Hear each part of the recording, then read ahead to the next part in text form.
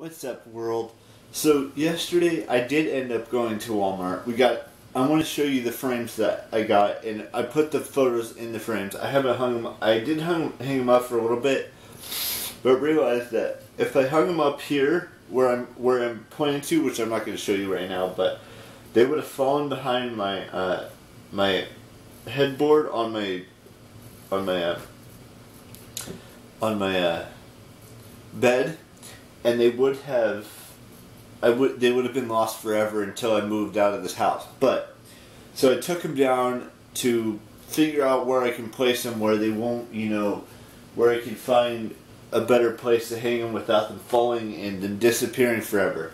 So they're just they're the same frame. It's just I just put the photos in there. So it, this is basically the frame. It's an eight by ten frame and it has her in it, and it has a signature and all that stuff and whatnot. And then I did go to Walmart. That's where I got those. So I did get the gift card, and I got three movies.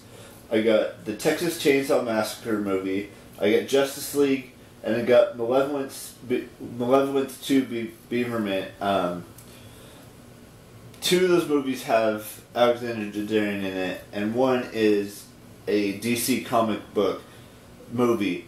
And then I rented two movies. I got The Witch and what was the other one? Uh, eighth grade. And the, so basically, I got five films to, in total. And I'm to finish watching Wonder Woman. Then probably after that, I'll start the the Justice League film, and then go from there. So and then, you know, I still have Magnificent Seven from the last time I've got a gift card.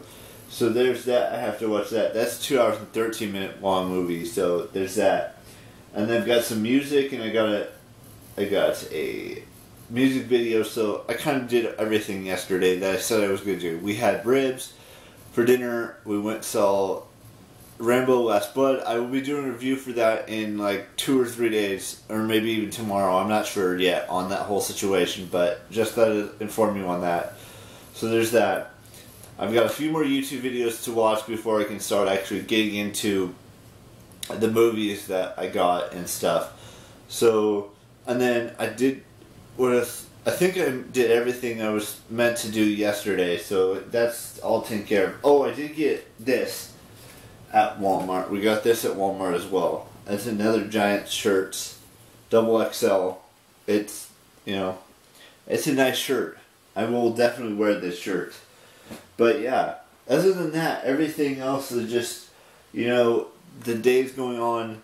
We're just three days away from October, and I like I mentioned in yesterday's vlog.